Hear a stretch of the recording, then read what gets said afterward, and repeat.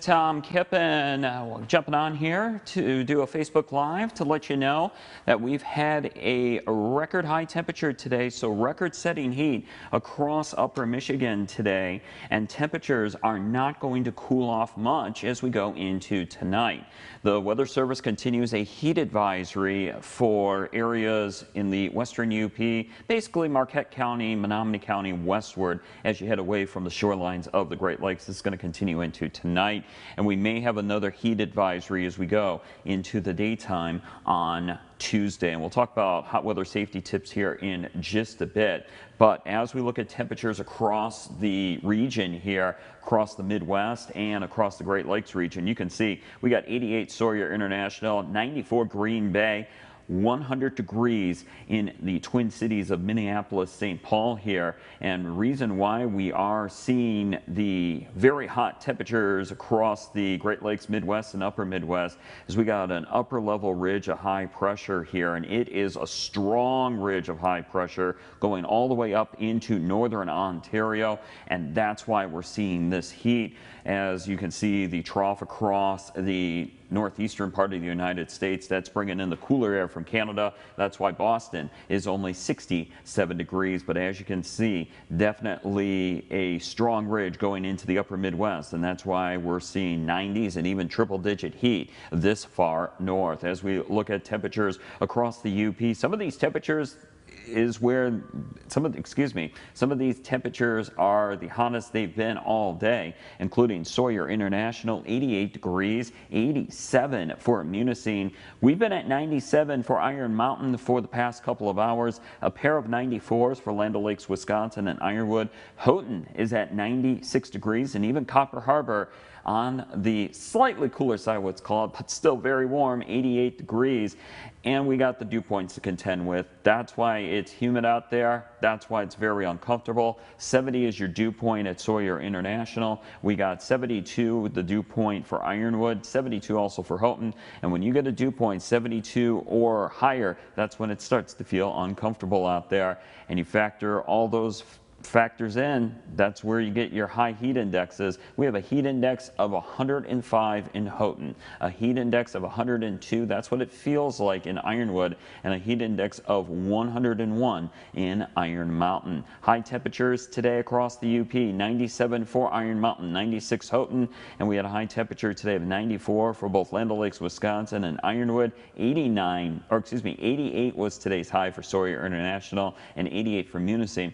A little bit cooler in the eastern UP, and in fact, much cooler in the far eastern UP. That's because we were in the clouds and we had a soaking rain this morning into the early afternoon hours. And in fact, some parts of the eastern UP got over two inches of rain, while across the central and west, we didn't see hardly any rain and we got into sunshine quicker, and that's why temperatures warmed on up. Officially at the Weather Service today, a record high temperature of 92 degrees. That beat the old record of 88. Low temperature this morning was 60. Downtown Marquette at the U.S. Coast Guard as of now, 82. Today's high 54. The low temperature early on this morning, and I'm talking after midnight because it started to warm up even as we went through the overnight and early morning hours. And then as we moved into the middle to late morning hours, we got a lake breeze, a generous lake breeze that kind of cooled us off a little bit.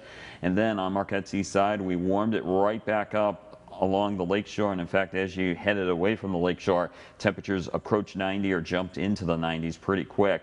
Radar and satellite watching some thunderstorms back on off towards the west here across North Dakota, South Dakota.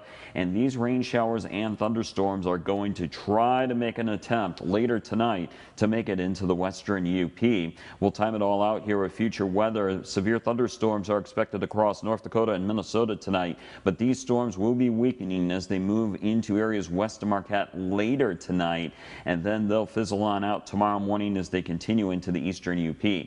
Tomorrow afternoon, we're going to have a cold front crossing upper Michigan. It's not going to turn us much colder. In fact, really, it's all it's going to do is shift the winds around to the west southwest. But still, on this front, a couple of storms could fire.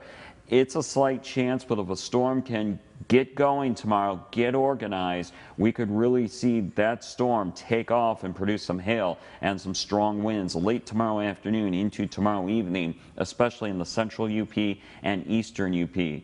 Once again, for thunderstorm chances, the chance is small. It's a slight chance, but if a storm can go, get organized, it could turn strong to perhaps severe in terms of maybe some hail and some stronger winds. And then we're dry as we get into Tuesday night, turning a little bit cooler and less humid for a day on Wednesday, and then a little bit of a warm up, not like this though, for the end of the week with some rain and thunderstorm chances coming. So for those of you just joining us, hopping on in, welcome. Here's what's ahead. We've had a record breaking heat day across upper Michigan today with our record high temperature officially at the Weather Service of 92 degrees. And it's not going to be much cooler tonight and it is going to be humid. Look for low temperatures tonight across the UP to be in the 60s and 70s with the warmest temperatures across the western UP.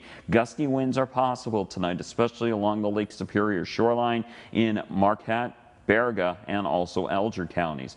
A late night thunderstorm is possible west of Marquette. That complex of thunderstorms that was getting going across the northern plains, that's going to head this way, but those storms will be weakening as they do so. Another very warm to hot day on Tuesday, a slight afternoon thunderstorm chance. Don't count on it to water your lawn, but if that storm can get going, it could get strong if it gets organized and then cooler air, less humid air starts to come in tomorrow night.